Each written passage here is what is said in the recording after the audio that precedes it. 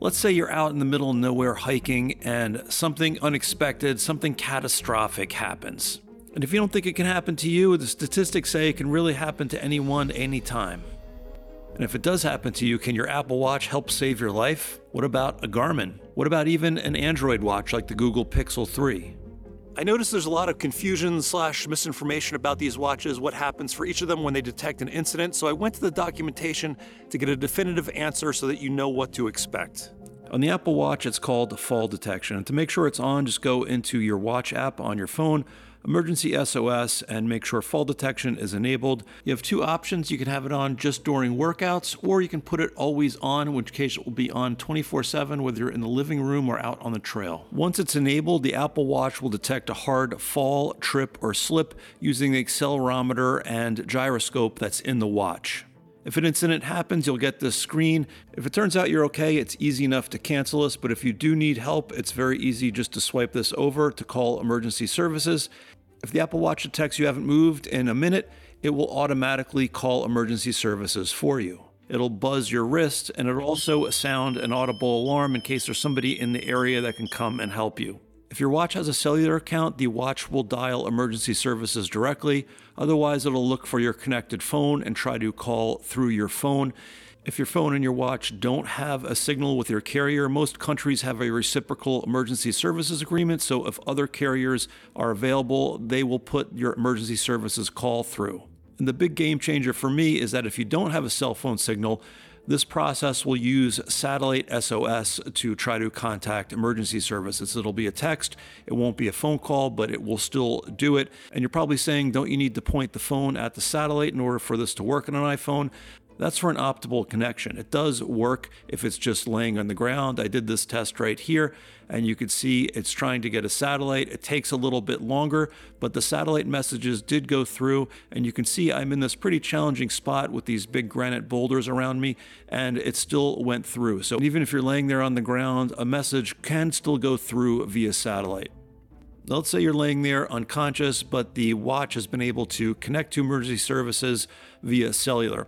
When that happens, the Apple Watch will play an audio message informing emergency services that your Apple Watch detected a hard fall. The owner of the Apple Watch has experienced a hard fall and is not responding to their watch.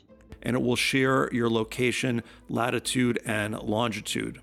The Apple Watch will then repeat that message, but at a lower volume. So, if for some reason you're able to talk or there's somebody nearby, they can talk into the watch and communicate with emergency services that way. Now, another powerful thing that's happening while this is going on is that your medical ID is transmitted to emergency services. A medical ID you set up in the Apple Health app beforehand. You can list any medications you're on, any kind of conditions you have, and that gets sent uh, via data, not via voice, to emergency services. So if your watch calls and it says you've detected a hard fall and you set up your health ID to say you have a history of strokes, the emergency service person on the other end will know all of that right away. And if you added your emergency contacts to your medical ID, after the call ends, they will get a message sharing your location and letting them know that the watch detected a hard fall and dialed emergency services already. And the iPhone and Apple Watch have a related function called car crash detection that pretty much does the same thing if it detects that you've been in a car crash. You might be saying, well, does this actually work? Well, I did a cursory search and I saw that there are news stories about fall detection and car crash detection actually working. I don't expect this stuff to work perfectly all the time, but I'm not going to sacrifice good for perfect. And overall, I think this technology is very impressive. Now, on the Garmin, it's called incident detection and it's supported on these watches. To enable it, you have to set up your emergency contacts and then you basically turn it on or off for your different activities. Now, the catch here is that it's not 24 7. It only works when you're tracking one of these activities anywhere between the start and the end, including when it's paused. Now, the other catch here is that your Garmin watch has to be connected to your phone via Bluetooth, and your phone has to be connected via cellular. Otherwise, incident detection will not work. Now, there's a misconception out there that the incident detection will trigger an SOS over your Garmin InReach if you have an InReach connected to your watch and that is not the case. It will not automatically trigger an SOS on a Garmin InReach. You can do that if you pair your watch to your InReach unit and manually trigger an SOS, but if you're unconscious and you're out of cell phone range, this will not work. So that means your phone has to be in cellular range to work. So, assuming that you've enabled it, you're in cellular range, and you've fallen and it's detected an incident, you first get a countdown and then you have a chance to cancel it. And then if you don't cancel it, your emergency contacts are notified, not 911 or emergency services like the Apple Watch. And that's because an app can't dial emergency services on its own. Now, the obvious weakness here, aside from the fact that you need a cellular connection, is that if your emergency contacts aren't available to get the message, that's valuable time that you could lose in an emergency situation. Now, Garmin does have an LTE watch. You have to get a paid subscription for this. And this is a little bit different because when it detects an incident, it will automatically reach out to Garmin Response. And Garmin Response is the same response center that handles the Garmin InReach calls and they will be able to contact an emergency service or report your condition to emergency service on your behalf. So, in this case, there is a degree of uh, coverage and automation here. And just to reiterate and quote Garmin, neither your Garmin device nor the Garmin Connect app will make contact with an emergency service on your behalf. So it's totally up to your contacts or Garmin response if you have an LTE watch in order to contact emergency services. Now, obviously, the coverage is not as comprehensive as what you get on an Apple Watch, but I would not discount the Garmin incident detection. I've heard from you personally, people in the audience who this has worked for, and I've seen stories out there of this working. So, if you have a Garmin, it's definitely worth setting this up.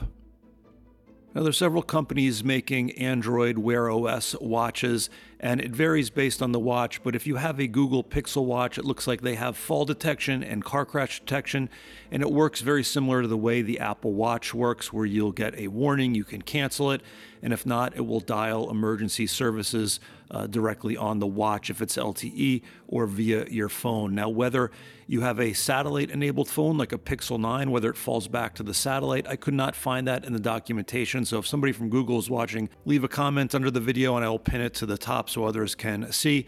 But overall, if you want to get a Wear OS watch, I just recommend checking the specs for the watch first to ensure that it does have this type of coverage. I know that the Pixel 3 definitely does.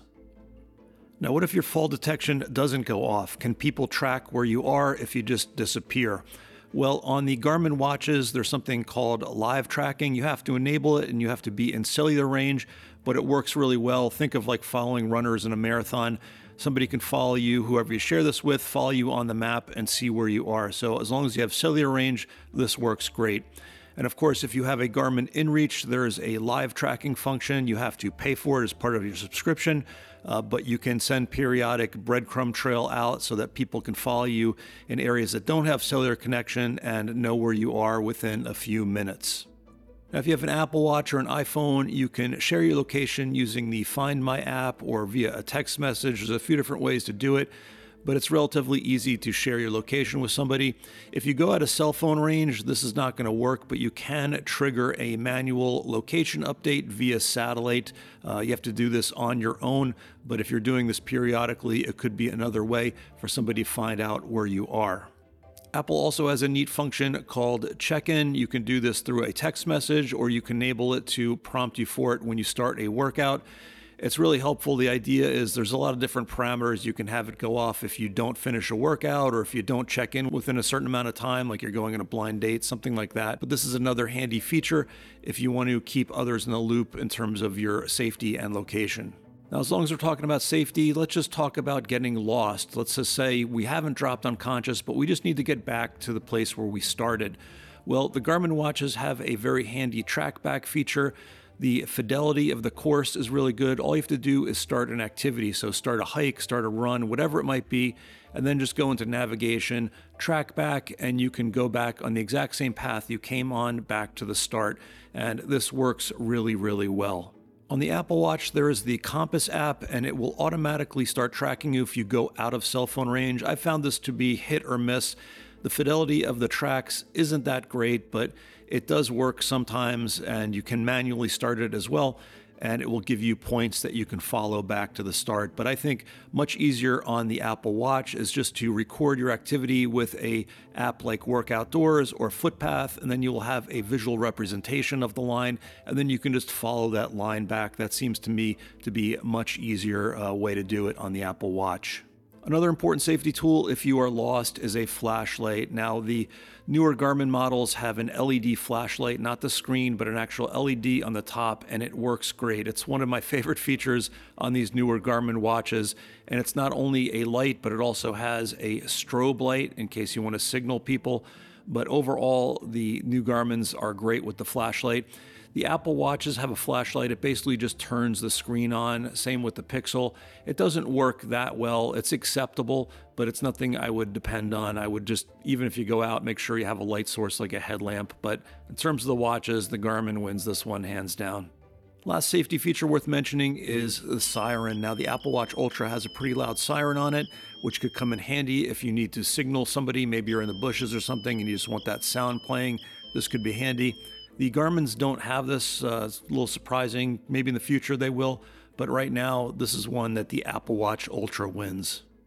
So when it comes to safety, there are pros and cons for all of these watches. For me personally, I think the Apple Watch nails it. I love having the 24/7 coverage. I love having the fallback to satellite if I'm out of cellular range with my phone, which is with me usually when I'm hiking those things to me make this more of a attractive option than the Garmin, which needs the cellular connection.